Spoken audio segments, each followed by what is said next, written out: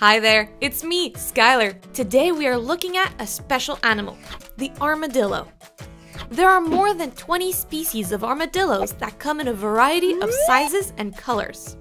Out of the different types, only one species, the nine banded armadillo, lives in North America. The other types live in South America. Living in temperate and warm habitats, armadillos can be found in rainforests, grasslands, and semi deserts.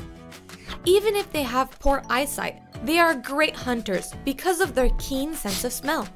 Armadillos are insectivores, meaning they generally hunt for invertebrates such as insects, but their diet includes fruits and eggs. To catch their prey, they use their sticky tongues, similar to anteaters. These odd looking creatures also have a long pointy snout and an armor that covers its back, head, legs, and tail. The armor is formed by overlapping plates that are made out of solid bone, coming from their vertebrae. Interestingly, the pattern on the head plate of each armadillo is unique to each individual. They are the only living mammals that have that kind of shell.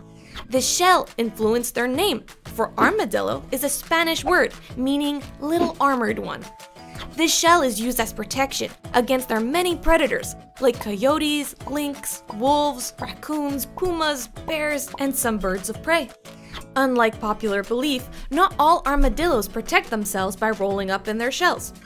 The majority dig a hole quickly and enter so that their stomach, which is tender, is protected, and their armor is the only thing visible.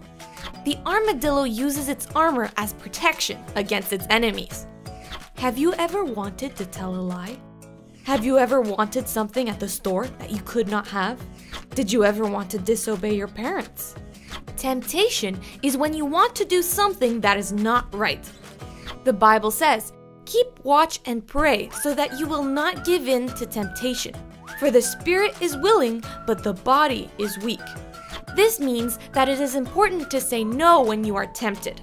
To do so, you can read your Bible, obey what it says, and you can pray. So, just like the armadillo's armor protects them against predators, you can protect yourself by resisting temptation, and when it's hard, God helps you resist temptation.